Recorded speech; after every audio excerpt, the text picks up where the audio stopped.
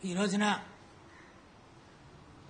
జగన్మోహన్ రెడ్డి గారు అధికారంలోకి వచ్చి ఏడు నెలల కాలంలోనే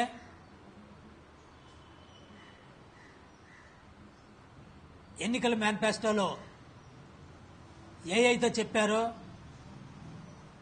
దాన్ని ఎనభై శాతం పైగా పూర్తి చేసిన ఘనత వైఎస్ఆర్ కాంగ్రెస్ పార్టీదని జగన్మోహన్ రెడ్డి గారిదని గర్వంగా చెప్పొచ్చు. భారతదేశంలోనే అనేకమైన రాష్ట్రాలు గతంలో రెండు వేల పద్నాలుగులో అధికారంలోకి వచ్చిన తెలుగుదేశం పార్టీ అధికారంలోకి వచ్చిన ఐదు సంవత్సరాల కాలంలో కూడా వాళ్ళ అధికారంలో రావడానికి ఏ అయితే ఎన్నికల వాగ్దానాలు ఇచ్చారో అందులో ఇరవై శాతం కూడా పూర్తి చేయని ఘనత చంద్రబాబు నాయుడు గారిది. ఈ రోజున ఏడు నెలల కాలంలో చెప్పిన అంశాలనే కాకుండా చెప్పనాట్లు కూడా అనేకమైన సమస్యల్ని పరిష్కరిస్తూ నాలుగు లక్షల పైగా ఉద్యోగాల్ని ఇచ్చి ఈ రాష్ట్రంలో ఉన్న యువతకి భరోసా కల్పించిన ఏకైక ముఖ్యమంత్రి భారతదేశంలో జగన్మోహన్ రెడ్డి గారు. అట్లాగే జగన్మోహన్ రెడ్డి గారికే కాకుండా జగన్మోహన్ రెడ్డి గారి ఫ్యామిలీ రాజశేఖర రెడ్డి గారికి కానీ జగన్మోహన్ రెడ్డి గారికి కానీ వాళ్ళు రైతులు పక్షపాతులు. ఆ రోజున రాజశేఖర రెడ్డి గారు రైతుల యొక్క బాధలు తెలుసుకొని పూర్తి రైతు రుణమాఫీ చేసిన వ్యక్తి రాజశేఖర రెడ్డి గారు. ఈ రోజున జగన్మోహన్ రెడ్డి గారు రైతు భరోసా కార్యక్రమం పెట్టి రైతులను ఆర్థికంగా ఆదుకో ఆదుకోవటమే కాకుండా రైతులు ఆర్థికంగా నిలదొక్కోవడానికి అనేకమైన పథకాలు రచిస్తూ రైతులందరికీ కూడా ఒక కన్న బిడ్డలా ఇంటి పెద్ద కొడుకులాగా రైతు సమస్యల పట్ల అవగాహన చేసుకునే వాళ్ళ యొక్క సమస్యల్ని తీరుస్తూ ఉన్నారు. ఈ రోజున రాజధానిలో చూస్తూ ఉంటే అభివృద్ధి వికేంద్రీకరణ ఈ రాష్ట్రానికి ఖచ్చితంగా జరగాల్సిన ఆవశ్యకత ఎంతైనా ఉంది. మనం చూసాం ఉమ్మడి ఆంధ్రప్రదేశ్లో చంద్రబాబు నాయుడు గారి హయాంలో పది సంవత్సరాల పాటు ఒక్క హైదరాబాద్ నగరాన్నే అభివృద్ధి చేసి మిగతా ఇరవై రెండు జిల్లాలు కూడా నిర్లక్ష్యం చేయటం వల్లే తెలంగాణ వాదం పుట్టింది కాదా అని చెప్పని నేను ప్రశ్నిస్తా ఉన్నా. ఆ రోజున ఈ రాష్ట్రం విడిపోవటానికి చంద్రబాబు నాయుడు గారు కేంద్రానికి లెటర్ ఇవ్వట్లే ఇవ్వలేదా అని చెప్పానని నేను ప్రశ్నిస్తా ఉన్నా. రెండు వేల పద్నాలుగులో అనుభవం ఉన్న వ్యక్తి ఈ రాష్ట్రాన్ని ఉద్ధరిస్తాడని చెప్పానని అధికారం కట్టబెడితే రెండు లక్షల కోట్ల పైగా ఈ రాష్ట్రాన్ని అప్పులు ఊబిలో దించి ఐదేళ్ళ కాలంలో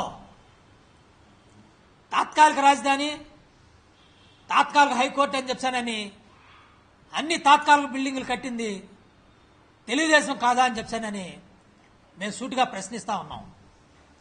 ఈ రోజున చెప్తా ఉన్నారు అమరావతిని అభివృద్ధి చేయాలంటే లక్ష కోట్ల పైగా కావాలి. అంత డబ్బులు ఈ రాష్ట్ర ప్రభుత్వం దగ్గర లేవు.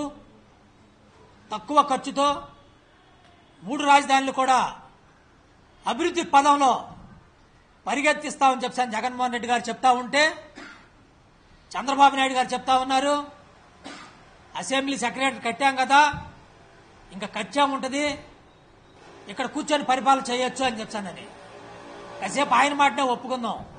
ఆ రెండు బిల్డింగ్లే సరిపోతే రైతుల దగ్గర నుంచి మీరు ముప్పై మూడు వేల ఎకరాలు ఎందుకు తీసుకున్నట్టు అని చెప్పానని తెలుగుదేశం పార్టీని మేము ప్రశ్నిస్తా ఉన్నాం. అంటే మీకు నచ్చిన కార్పొరేట్ కంపెనీలకి దారాదత్తం చేస్తానికి కాదా? మీ అనుకూలమైన వర్గానికి ఇన్సైడ్ ట్రేడింగ్ చేసుకోవటానికి కాదా? అని చెప్పి మేము ప్రశ్నిస్తా ఉన్నాం. వారు ఏమంటున్నారు? సెక్రటరేట్ ఉంది అసెంబ్లీ ఉంది ఇవి సరిపోతాయి. కాబట్టి ఇక్కడే ఉంచండి అని చెప్తున్నారు. మరి ఆ రెండు బిల్డింగ్లో సరిపోయినప్పుడు ముప్పై మూడు వేల ఎకరాలు ఎందుకు తీసుకున్నావయ్యా చంద్రబాబు నాయుడు? ఇది మోసం కాదా? రైతులకు ద్రోహం చేస్తాం కాదా? ఆ రోజున రైతులకు ఏం చెప్పావు? సంవత్సరంలో డెవలప్ చేసిస్తానని చెప్పావు. సంవత్సరంలో డెవలప్ చేసావా రాజధానికి సరిహద్దులు కూడా వేయలేని పరిస్థితి నీది. ఈ రోజున జగన్మోహన్ రెడ్డి గారు రాజధాని ఇక్కడి నుంచి తరలిస్తానంటలా. అక్కడ కూడా అభివృద్ధి చేస్తానని చెప్తా ఉన్నారు. ఇక్కడి నుంచి రాజధాని తీసేస్తానని ప్రకటన చేశారా? అధికార వికేంద్రీకరణ అభివృద్ధి వికేంద్రీకరణ చేస్తానని చెప్తా ఉన్నారు. రైతులకు కూడా మేము ఒకటే విన్నవిస్తా ఉన్నాం. జగన్మోహన్ రెడ్డి గారు రైతుల పక్షపాతి. రైతులకు ఎట్టి పరిస్థితుల్లో కూడా ఏ అన్యాయం జరగనివ్వరు. రైతులకి ప్రభుత్వం ఏదైతే ఇచ్చిందో రైతులకు సంతృప్తి పడేలాగా ఈ ప్రభుత్వ నిర్ణయాలు జగన్మోహన్ రెడ్డి గారి నిర్ణయాలు ఉంటాయని చెప్పానని మేము ఆశాభావం వ్యక్తం చేస్తూ ఉన్నాం.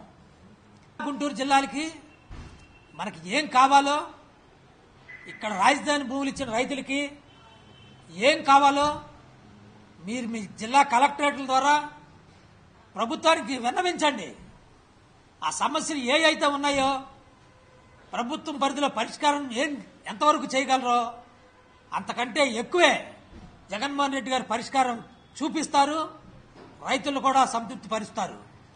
కానీ చంద్రబాబు నాయుడు గారు ఈ రోజున రాజకీయ నిరుద్యోగి అయిపోయి ఒక రాజకీయ అలజడి సృష్టించడానికి రైతుల్ని మభ్యపెడతా ఉన్నారు.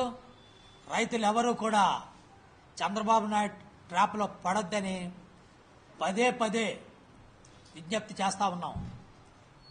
కృష్ణా జిల్లా వాసులకు కానీ రైతులకు కానీ మన జిల్లాలు ఎలాగ అభివృద్ధి కావాలి మనకు కావాల్సిన అభివృద్ధి ఏంటి మనకు కావాల్సిన నిధులేంటి రైతులు శుభ్రంగా ఉండాలి ఏం చేయాలో అవన్నీ కూడా కలెక్టర్ల ద్వారా ప్రభుత్వానికి మీరు విన్నవించండి. ప్రభుత్వ పరిధిలో ఉన్న ప్రతిదీ కూడా జగన్మోహన్ రెడ్డి గారు చక్కగా పరిష్కరిస్తారు. అంతేగాని ఈ రోజున ఒక కుటుంబ పెద్దగా ఈ రాష్ట్ర ముఖ్యమంత్రిగా జగన్మోహన్ రెడ్డి గారికి పదమూడు జిల్లాల అభివృద్ధి చేయవలసిన బాధ్యత ముఖ్యమంత్రి గారి మీద ఉంది.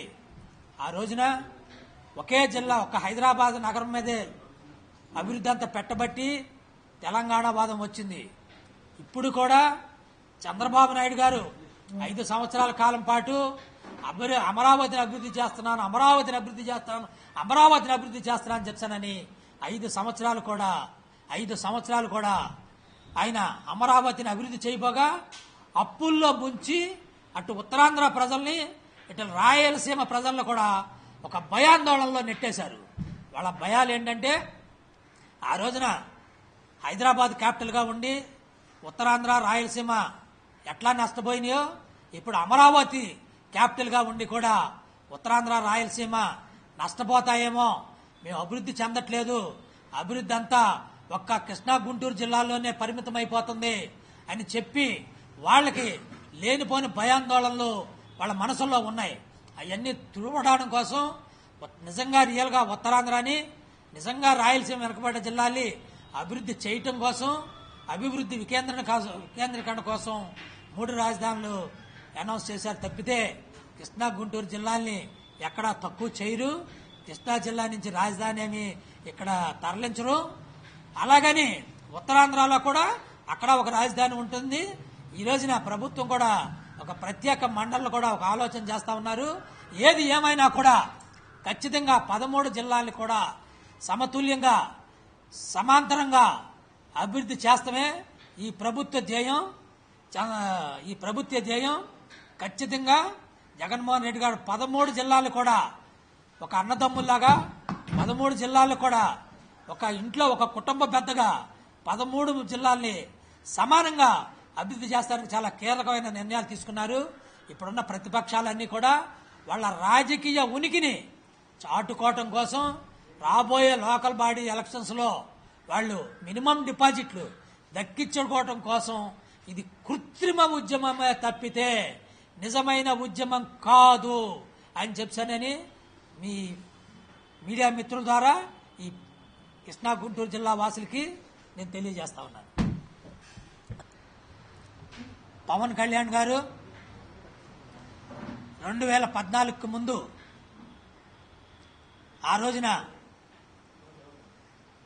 తెలుగుదేశంతో బీజేపీ అలయన్స్లో ఈ రాష్ట్రంలో సంపూర్ణ మెజార్టీ సాధించారు. సాధించిన ఎమ్మటే కూడా ఆయన ఒకటే మా ఒకటే మాట అన్నారు. ఏంటంటే ప్రభుత్వంలో ఏ అవినీతినున్నా నేను ప్రశ్నిస్తా అని చెప్పానని చెప్పడం జరిగింది. గత ఐదు సంవత్సరాల కాలంలో చంద్రబాబు నాయుడు గారు ఎన్నికల మేనిఫెస్టోలో ఇచ్చిన ఇరవై శాతం కూడా పూర్తి చేయలేని పరిస్థితిలో ఐదు సంవత్సరాల కాలం కూడా అప్రజాస్వామికంగా దుర్మార్గంగా బలహీన వర్గాల్ని అణిచిపెట్టే విధంగా కార్పొరేట్ కంపెనీలకి దోచిపెట్టే విధంగా పరిపాలన చేసినా కూడా పవన్ కళ్యాణ్ గారు ఎక్కడా కూడా ఒక్క మాట తెలుగుదేశం అనే పరిస్థితిలో లేరు. ఎందుకంటే అది తెలుగుదేశం పార్టీ షాడో పార్టీ మాట. షాడో అంటే నీడ. మనం ఎక్కడికి వెళ్తే అలాగే వస్తుంది. మనం ఏ షేప్లో ఉంటే ఆ షేప్లోనే మన ప్రతిబింబం ఉంటుంది. అది పవన్ కళ్యాణ్ పార్టీ అది తెలుగుదేశం పార్టీకి బినామీ పార్టీ. ఎందుకంటే ఎందుకు చెప్తున్నామంటే ఈ రోజున మొన్న నలుగురు ఎంపీలు రాజ్యసభ సభ్యులు బీజేపీలో కలిసి కలిసిపోతే తెలుగుదేశం రాజ్యసభ సభ్యులు ఒక్కళ్ళైనా రాజీనామా చేయమని చెప్తానని తెలుగుదేశం పార్టీ డిమాండ్ చేసిందా? బీజేపీ మీద ఎప్పుడైనా ఒక యుద్ధం ప్రకటించిందా? లేదు. ఈ రోజున కూడా పవన్ కళ్యాణ్ని ఈ రోజున వైఎస్ఆర్సీపీని ఎదుర్కొనే తెలుగుదేశం పార్టీకి ఆ పరిస్థితి లేక ఒక ముసుగేసుకొని పవన్ కళ్యాణ్ గారిని తెలుగుదేశమే పార్టీ పంపించిందని చెప్పానని ఈ పదమూడు జిల్లాల ప్రజలు కూడా భావిస్తూ ఉన్నారు. పవన్ కళ్యాణ్కి ఎక్కడా కూడా ఒక వ్యక్తిత్వం ఒక స్వతంత్ర ఆలోచన ఒక నిలకడైన ఆలోచన ఎప్పుడూ లేదు.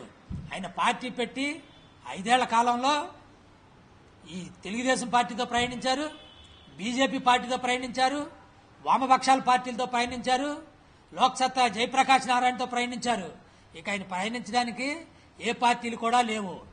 ఆయన కేవలం ఒక పార్ట్ టైం ఉద్యోగిగా చేస్తున్నాడు తప్పితే అది ఒక పొలిటికల్ పార్టీగా అతన్ని ఒక పొలిటికల్ లీడర్గా ఈ పదమూడు జిల్లాల ప్రజలు ఎవరూ కూడా గుర్తించుకోవట్లేదు.